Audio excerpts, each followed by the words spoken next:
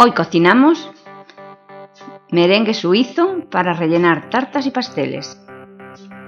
Los ingredientes que vamos a utilizar son solamente dos, claras de huevo y azúcar. Os los dejo completos al final del vídeo.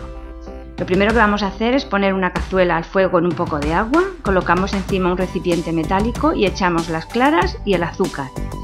Las batimos enérgicamente con las varillas manuales o con las varillas eléctricas.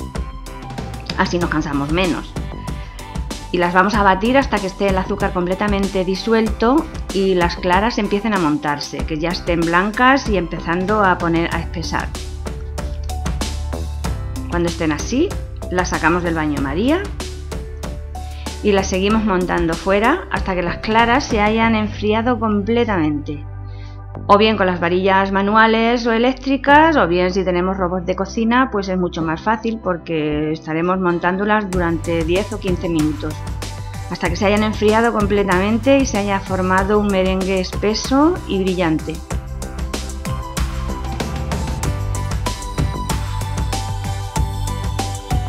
¿Veis? Los picos se mantienen perfectamente. Pues así debe de quedar y ya está listo. Es estupendo para rellenar las tartas, para hacer mil hojas y queda delicioso. Si os ha gustado la receta, os invito a darle a me gusta y a suscribiros a mi canal y os espero en la próxima receta.